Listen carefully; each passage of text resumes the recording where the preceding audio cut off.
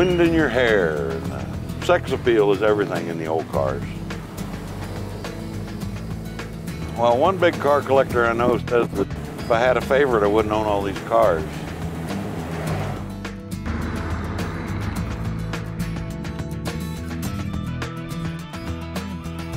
I like to say that every old car has a story. Oh, old cars at some point reach the status of, of art, uh, fine art, if you will. They're rare, they're hard to get a hold of, they're, they're harder to maintain probably than a Picasso.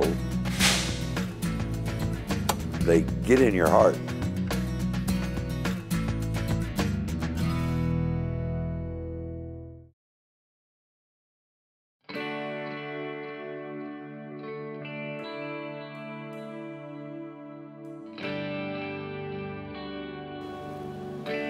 Few muscle cars sprinkled around. I got into those for a while. Oh, let's see. The Mercury pickup's rare, an all original Bronco. That's the first stretch Suburban ever made. Dad and I dreamed that concept up when it's I like to say that every old car has a story.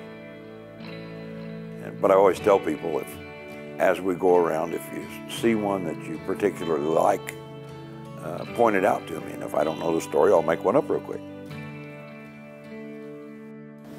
This is a Cleveland. Bought it from a fellow named Cleveland who lived in Cleveland and claimed to be part of the original Cleveland family that built the Cleveland automobile.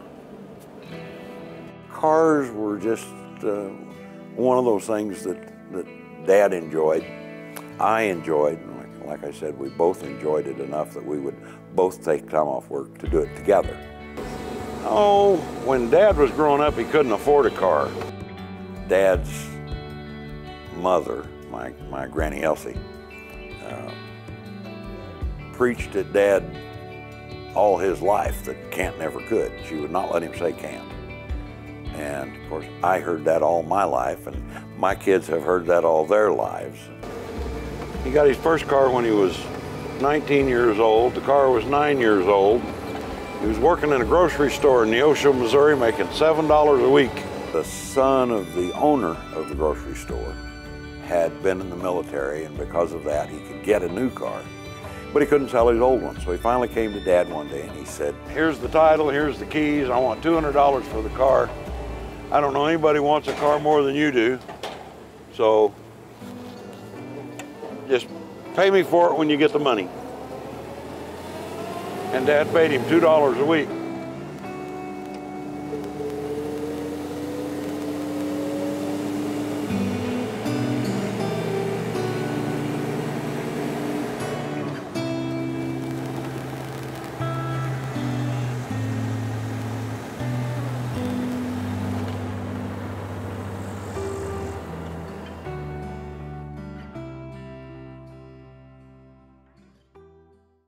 When Dad passed away, I stopped and assessed where we were. We had about 300 cars.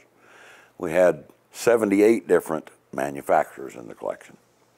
And, uh, and I remember thinking, wouldn't that be fun to have 100, to say you had 100? So I started watching for the rare and unusual stuff. And, and as I told you, the rare and the unusual is normal here, okay?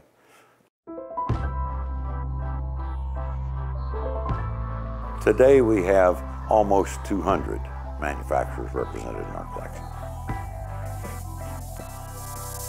So uh, over the years I've, I've kind of focused on that.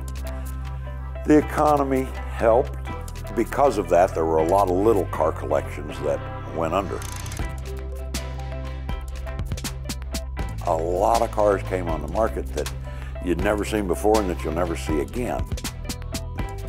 And they did it at such a time that the economy was so down that they were on the market really worth the money. I'd go to a sale and I might buy six or eight cars, all different brands that you'd never heard of. I always say that I have a whole head full of useless knowledge. Now, and I've never considered myself to be a history buff. Uh, but you can't play with the old cars and, and ignore the history. The history is, is a part of it.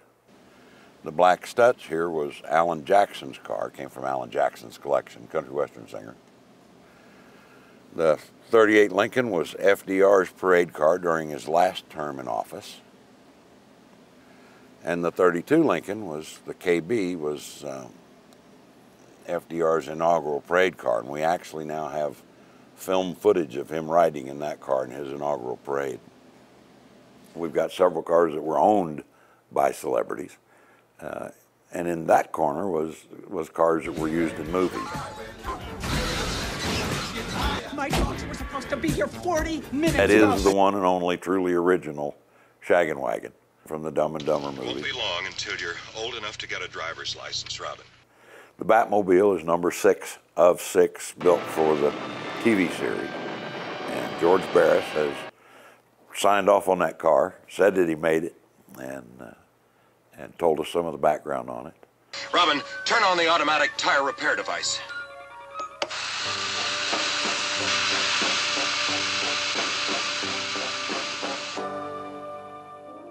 The, the little Porsche sitting there was Tina from Gone in 60 Seconds, Oh, come on. Which was the first car they stole in the movie. The Porsche they drove through the showroom window.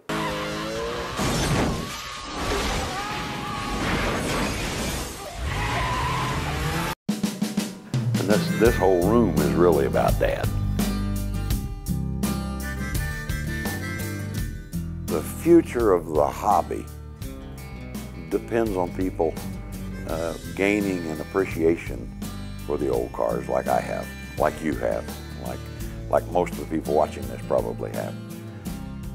Uh, I think the 02, 3, 4, and 5 uh, Ford Thunderbird, the little two-seater, uh, will be collectible someday. What I call future collectibles. I think uh, any of the limited production Ferraris, okay, the the 550 Barchetta, the 550 Super America, the, the, the cars that they make for the masses, and they make hundreds or thousands of them, uh, will always be valuable because they're fine Ferrari products. But uh, the ones that they make one or two or ten or, or a numbered series of, uh, they'll always be valuable. and all the cars are for sale. Uh, we call it a collection, but it's but it's an ever-evolving collection.